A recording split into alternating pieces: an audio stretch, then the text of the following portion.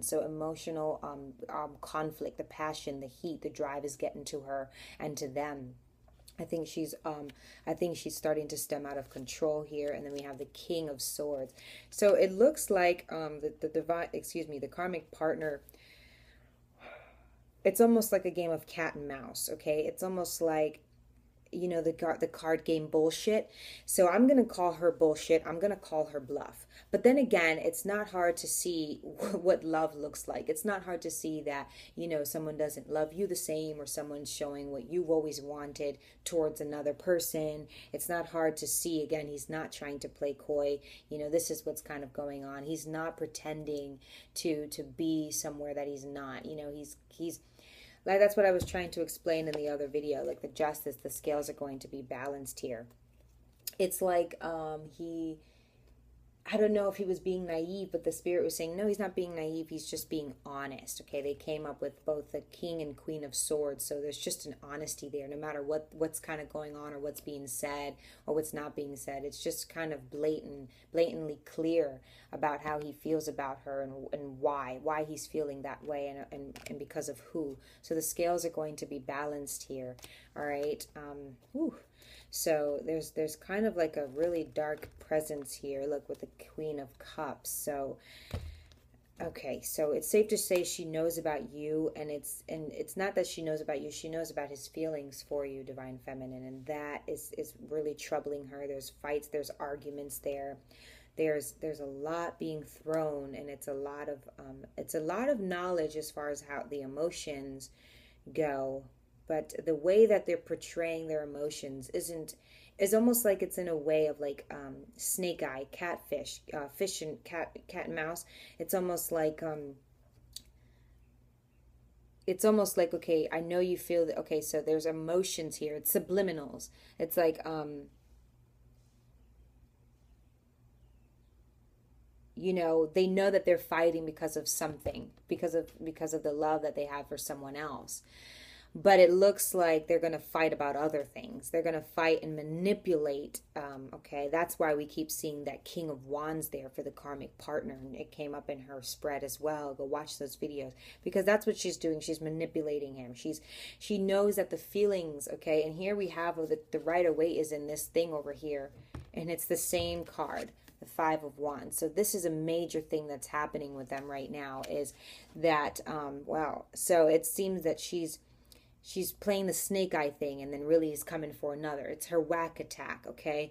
It's her coming in with these harsh words because she knows what's going on. It's emotionally distraught and got her, but she's pretending to be emotionally balanced as a king of cups. You see how she's manipulating him into believing that, you know, she's not hurt about that. She's trying to belittle the feelings he has for the divine feminine, okay? And say, look, I've got that love. And not only that, in doing so by arguing with him, okay? It's really hard to explain. It's a lot of manipulation going on here, um, narcissism. And she's coming in with real real weapons and real tools real words to say. Coming for him at a very vulnerable spot because she knows that he's vulnerable in his emotions for the divine feminine right? And his love for her. And he and she's like trying to fight about one thing to try to um uh, steer him away from from the fact. Okay, I hope that makes sense. It's a lot of manipulation going on here, and that's why she keeps coming up as the King of Wands. Let's clarify this Knight of Swords. Okay, and it's mm, it's more so in reverse. Okay, this Seven of Pentacles in reverse. This came up for the Divine Feminine. So the divine feminine are being are definitely I don't know some of you are being manipulated by the karmic. It depends on how close your ties are to this person. If you're keeping dabs and dibs on her, you're definitely falling into a trap okay you're you're definitely falling to into a manipulative trap here okay? The closer you are here we go with the magician gemini okay? The closer you are to this couple etc the more you are to be persuaded. So the divine feminines are supposed to become a queen of pentacles right now whereas the divine masculine is becoming a king of pentacles learning how to do it on your own. But upright we know that this is like questioning where you are today and understanding that if somewhere doesn't have any more meaning to you or doesn't serve you anymore to go and take your fruit of the loom and what you've worked so hard on for so many years or so long and go and kind of you know now um, offer your uh, talents or such elsewhere Okay, so this is getting ready to do so, but it's in reverse. So there's a lot of mental conflict here as far as the the um the, the karmic partner goes and what to do next. She knows that it's not this aspect that's going to help. Now she has to kind of dive in, delve, de- um, dive into this um kind of a shape shift into this emotion thing here in order to play right in order to in order to win okay? She's like on guard but she has to be equipped. And so the magician here is also talking about her now not talking about the divine feminine but her as far as her trying to get equipped and make things her own manifest her own power okay? This temptation card is how she's falling into temptation in this sort of aspect as far as like look um you know i can't lose here i can't lose you know with this uh she could be very well a fire sign who's got this fire energy okay seven of wands you know comp- competition you know? And it's almost like you know it's almost like you don't have to play that way. It's like she's not playing fair never has she played fair uh, played fair but especially now okay? So she's trying to pull out some you know magic tricks and she's trying to you know be manipulated and manipulate others into doing what she needs to do. It's a really it's a real game of cat and mouse here. I love how we've got this representation of the five of wands and also this one that's just sitting over here not been touched Okay, so she's trying to um, persuade him, brainwash him, is what I was saying in my previous reading about the divine masculine, divine feminine versus mother in law. Go watch that. Let's clarify this King of Cups for this karmic partner. So we got two cards and they're in reverse, and I knew they would be. Got the Page of Cups, Cancer, Pisces, Scorpio in reverse. Now we have the Nine of Pentacles in reverse. These are two energies of the divine feminine and then of the divine masculine and the divine feminine. Okay, if you watch previous readings, you know this much. And the King of Cups is, is the truth behind it, divine feminines and everyone watching, that she doesn't have this aspect. She's trying to shape shift into, into um, I think of Harry Potter with the poly potion juice. You know, she's trying to shape shift into it because this is the only way now that she's going to be able able to communicate with him in a way of which he's feeling to go move forward towards someone else. If you embody that emotion, it may be that, okay, now we, you know, now we're playing with something. Now we're playing you know now it's even now it's equal if that makes sense okay? But the pages in reverse they're not on the same page as far as love. We know that this card is only open and only available to the divine masculine and the divine feminine as reiterated okay and stamped in previous readings to this one. But it seems that they don't have the the same page as far they're not on the same page. They're not in the same page as far as how they're going to stand alone how they're going to get independence how they're going to how they're going to be sufficient self-sufficient on their own as this is a positive aspect. They're not on the same page as far as that. And I love that.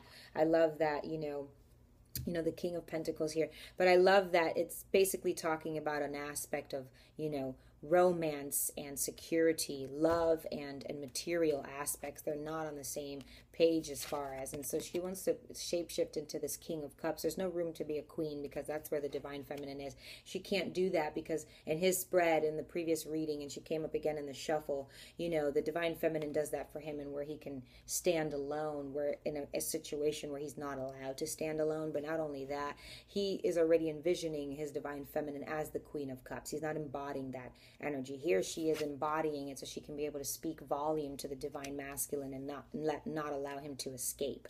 Okay, five of wands here for the karmic partner. Alrighty. So first we have the Hierophant here for the five of wands. Just um, one second. And okay. So here we have Okay, without letting the camera completely. So now we have the Seven of Wands here in reverse, okay? So she's losing okay? She's losing because it's the hierophant. You're not going to be able to manipulate him. You're not going to be able to do any of that. What's supposed to happen is going to happen in a divine journey and being a karmic being a karmic you know the, the, the completion is going to come to it to its end and, and, regardless. So you know anything that you do is going to kind of lead towards the fate of you know the um, the divine masculine and divine feminine winning in their favor okay but these emotional arguments and trying to sway him and trying to manipulate him is saying that it's not going to work because he is the divine masculine he is the hierophant so he is all knowing. But it is still depending on what he is going to do and how he is going to win the race. It's still up to to to freedom or to his choice. Okay, but it's saying divine feminines do not worry, you know, because he's he's already aware of the lies and deceit, the heartbreak. He's already very aware of that with his swords and Gemini, Libra Aquarius. He's aware of the heartbreak and the lies that this woman is feeding him here, okay, and what she's trying to do. He's being awakened.